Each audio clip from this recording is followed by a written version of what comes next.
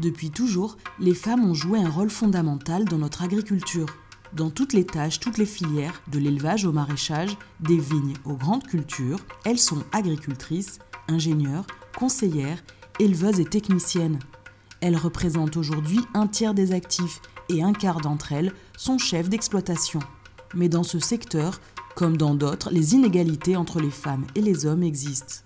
Elles sont même peut-être plus fortes dans les territoires ruraux. Mobilité, accès aux soins, offre de formation, articuler les temps de vie et parfois un parcours de combattante.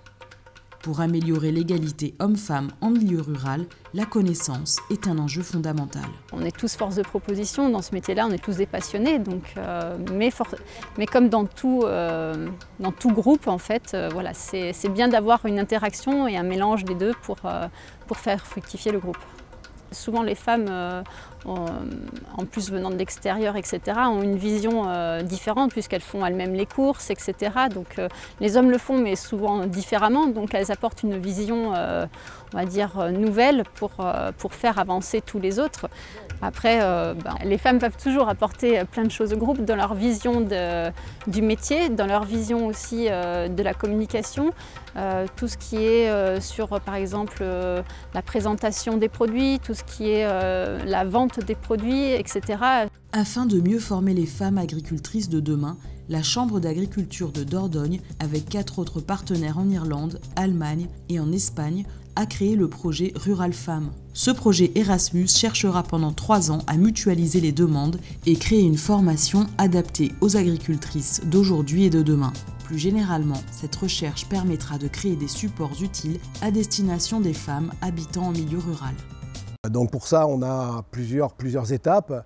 La première étape, c'est l'étape qu'on a réalisée déjà. C'est donc une étape, une enquête. Une enquête qui a été faite auprès de chaque, pour chaque pays auprès de 40, 40 femmes, 40 femmes du milieu rural. Euh, pour la Chambre d'agriculture, par exemple, c'était enquêter les femmes qui étaient passées en formation dans les deux dernières années. Donc on a eu beaucoup plus de réponses que 40, puisqu'on avait plus de 90, 90 réponses, qui nous permettent de, savoir à peu près commencer à savoir quels sont les besoins des femmes. notre objectif à nous, derrière, c'est d'être en capacité pour chacun des partenaires de monter des formations qui correspondent aux besoins que les femmes auront exprimés en amont. Si les jeunes exploitantes agricoles sont généralement plus diplômées que les hommes de la même classe d'âge, elles ont surtout des parcours plus diversifiés. De nouveaux profils d'agricultrices apparaissent et elles sont de plus en plus nombreuses. Je ne vois jamais le regard euh, de l'agricultrice comme étant plus compliqué ou différent d'un agriculteur. Donc c'est vrai que j'ai dû un petit peu réfléchir en me disant quelle différence il y a entre hommes et femmes. Alors on les trouve après finalement très vite, surtout quand on a des enfants. C'est vrai que si c'est la femme qui, dans la majorité, gère, on va dire, le planning un petit peu des enfants, ouais, là ça peut être plus compliqué. Ce qu'on a, c'est les nouvelles générations.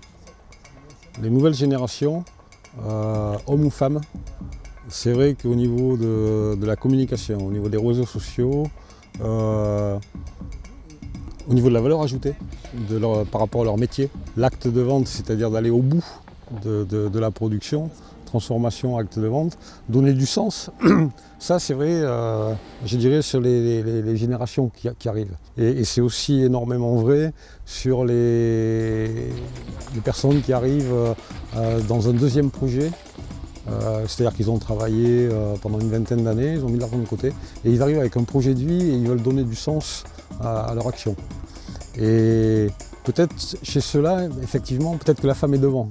Les femmes apportent de nouvelles compétences, une vision différente quant à la conduite de l'exploitation et proposent souvent une diversification des activités.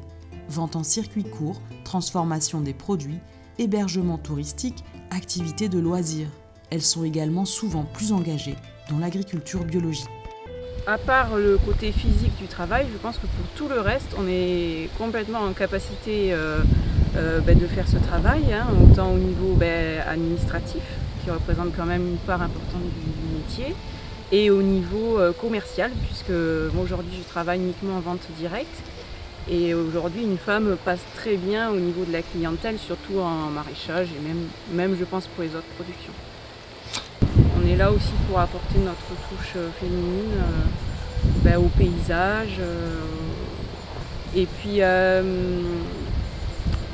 ce, côté aussi social qu'on apporte, je pense, relationnel qu'on a avec les gens. peut-être qui est différent de celui des hommes.